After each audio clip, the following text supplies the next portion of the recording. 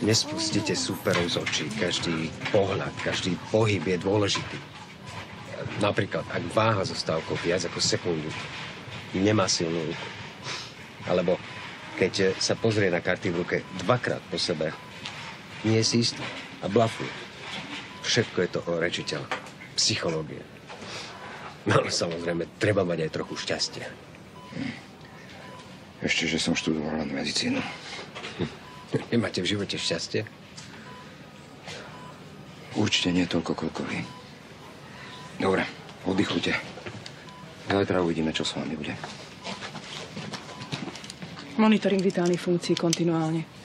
Skontrolujte mu ešte krvný obraz a zožente ešte dve jednotky krvi. A o 6 hodín kontrolné CT mozgu. Samozrejme.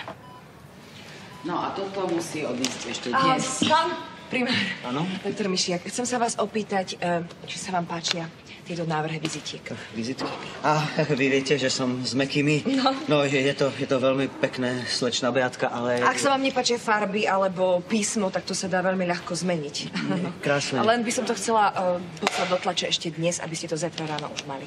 A inak, mimochodom, bol to úžasný nápad uh, hľadať darcu krvi medzi personálom. Zachránili ste pacientovi život. Ďakujem, všetci sme zachraňovali. Inak podobné vizitky mal aj doktor Revaj, keď bol primárom na našej klinike.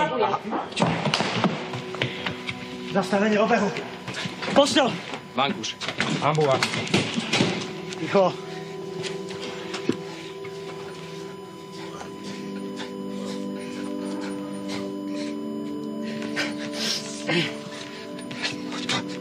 Naskoč. Poď, naskoč.